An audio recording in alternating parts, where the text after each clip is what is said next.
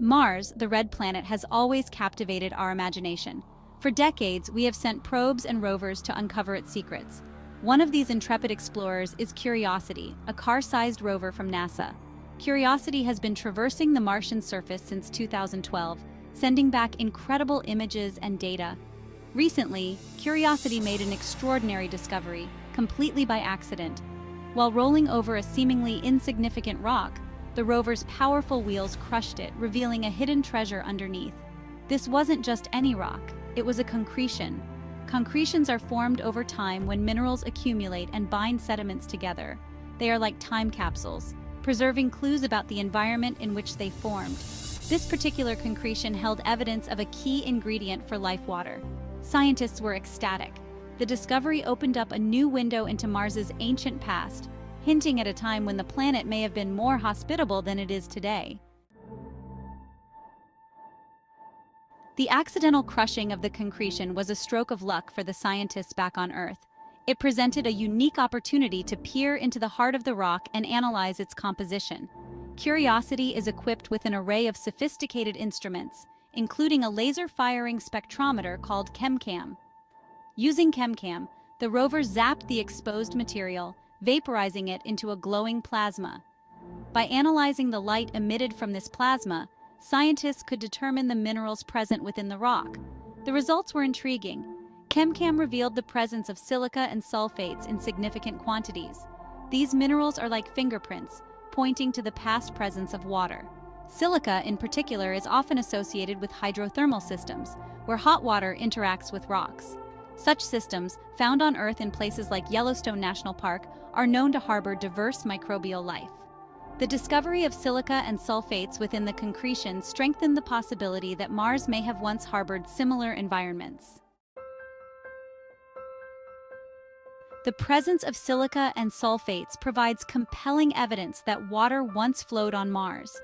These minerals don't typically form without the presence of liquid water. The discovery adds to a growing body of evidence from previous missions, suggesting that Mars was not always the dry and dusty planet we see today. Billions of years ago, it may have had a thicker atmosphere, warmer temperatures, and vast bodies of water. The discovery of these minerals within the concretion helps us paint a picture of what Mars might have looked like in its distant past. Imagine a planet with flowing rivers, crater lakes, and maybe even a vast ocean covering its northern hemisphere. This ancient Mars would have been a much more dynamic and potentially habitable place than the cold, arid world we know today. The concretion, like a Martian time capsule, offers a tantalizing glimpse into this bygone era. Curiosity, a decade of discoveries. Curiosity's accidental discovery is just one of many remarkable findings the rover has made since landing on Mars in 2012. Over the past decade, Curiosity has been tirelessly exploring Gale Crater, a vast impact basin thought to have once held a lake. Its mission to search for signs of past habitability, to determine if Mars could have ever supported life. And Curiosity has delivered. The rover has found evidence of ancient rivers and streams, drilled into rocks that formed in the presence of water, and even detected organic molecules, the building blocks of life. Each discovery has been a piece of the puzzle, helping us to better understand Mars's history and its potential for life. Curiosity's mission has revolutionized our understanding of the red planet, showing us that it was once a much more Earth-like world than we ever imagined. Water on Mars. Implications for the future.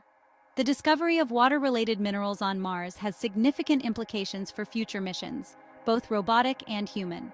Water is essential for life as we know it, and its presence on Mars raises the tantalizing possibility that life may have once existed there or perhaps even persist today in some hidden oasis.